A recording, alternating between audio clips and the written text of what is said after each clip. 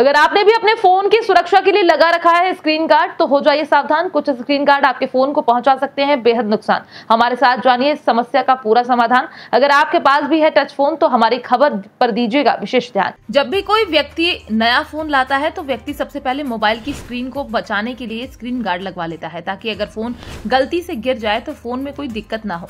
लेकिन क्या आपको पता है, कई बार यही स्क्रीन गार्ड आपके फ़ोन के लिए हानिकारक हो सकता है? अब वो कैसे और किस तरह, इस बारे में हम आपको बताने जा रहे हैं। जैसा कि स्मार्टफ़ोन की स्क्रीन सबसे अहम हिस्सा हुआ करती है, क्योंकि स्क्रीन के बिना स्मार्टफ़ोन का इस्तेमाल करना नामुमकिन जैसा है। तो वहीं स्क्रीन गार्ड का उपयोग आमतौर पर स्मार्टफ़ोन स्क्रीन को खरोच, धूल और अन्य बाहरी नुकसान से बचाने के लिए किया जाता है। जब कोई नया स्मार्टफ़ोन खरीदता है तो उसकी सुरक्षा के लिए टेम्पर्ड ग्लास या स्क्रीन गार्ड लगवाता है। व्यक्ति पहली प्राथमिकता इसे ही समझता जानकार बताते हैं कि टच रिस्पॉन्स में कमी स्क्रीन गार्ड की मोटाई और उसकी गुणवत्ता स्मार्टफ़ोन की टच स्क्रीन की संवेदनशीलता को प्रभावित कर सकती है।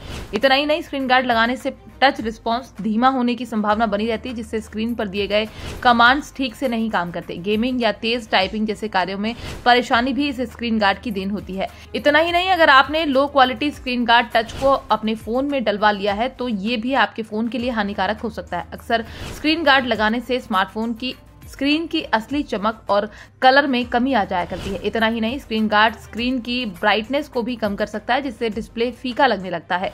स्क्रीन पर रंग उतने ताज़ा नहीं दिखते जितने बिना स्क्रीन गार्ड के दिखाई देते हैं। आमतौर पर सस्ते गार्ड डिस्प्ले क्वालिटी को खराब कर सकते हैं तो वहीं स्क्रीन गार्ड में बुलबुले और धूल का जमाव स्क्रीन गार्ड लगाने के दौरान हवा के बुलबुले या धूल के कण गार्ड के नीचे फंस सकते हैं। आपको इसका ध्यान रखना चाहिए। स्क्रीन पर बुलबुले स्क्रीन को देखने और टच करने के अनुभव को खराब कर सकते हैं। समय ज़्यादा होने के साथ इन बुलबुलों से गार्ड छूटने लगता है, जिससे फ़ोन की स्क्रीन को नुकसान पहुँचने की संभावना बढ़ जाया करती है। तो वहीं स्क्रीन पर धूल और गंदगी जमने से स्क्रैच होने का जोखिम बढ़ जाता है। जैसा कि अधिकतर स्मार्टफ़ोन स्क्रीन में एक ओले ओफोबिक कोटिंग होती है, जो उंगलियों के निशान और तेल के दाग को रोकने का काम करती है।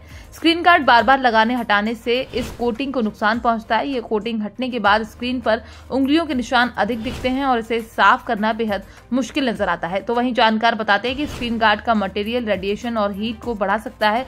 लो क्वालिटी स्क्रीन गार्ड अक्सर ऐसे मटेरियल से बने होते हैं जो गर्मी को सही तरीके से नहीं रोक पाते। फ़ोन लंबे समय तक उपयोग में रहने पर अधिक गर्म होने की संभावना बनी रहती है। फ़िलहाल अगर आप अपने फ़ोन की सुरक्षा के लिए स्क्रीन गार्ड लगाना ही चाहते हैं तो प्रयास करें कि कोई अच्छा क्वालिटी का लगाएँ ताकि स्क्रीन गार्ड के चक्कर में आपका फ़ोन खराब ना हो। फ़िलहाल आप फ़ोन से संबंधित इस खबर को लेकर क्या कहना चाहते हैं, आप अपनी राय हमारे साथ कमेंट बॉक्स में लिखकर साझा कर सकते हैं। और आप हमें ये भी लिखकर बता सकते हैं कि आपने क्या अपने फ़ोन में स्क्रीन गार्ड लगा रखा है और उसकी क्वालिटी क्या है? क्या आपको भी लगता है ये स्क्रीन गार्ड फ़ोन को हानि पहुंचाते हैं या फिर नहीं? Bureau report, PDN news.